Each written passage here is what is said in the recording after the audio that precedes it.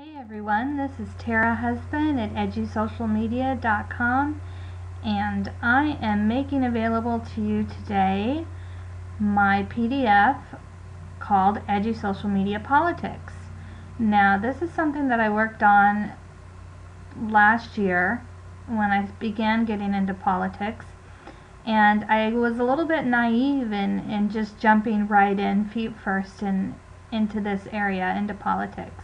I didn't realize at the time people were so passionate and required me or were determined to get me to take sides when my passion is really about being a social media statistician almost where I monitor the, the posts of the politician and the analytics behind it the return on investments who is natural at social media, how the natural engagement works, who is naturally checking in at Foursquare, who has planned methods, who's getting the best results, all of that kind of stuff that nobody else, well, very few people care about. I just found fascinating.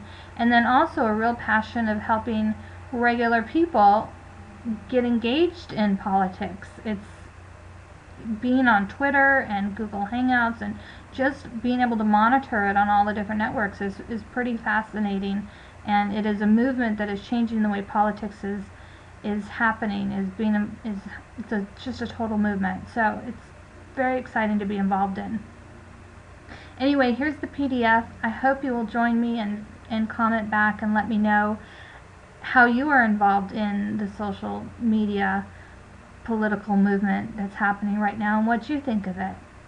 This is Tara Husband at edusocialmedia.com.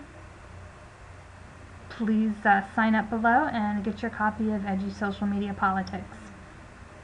Thanks.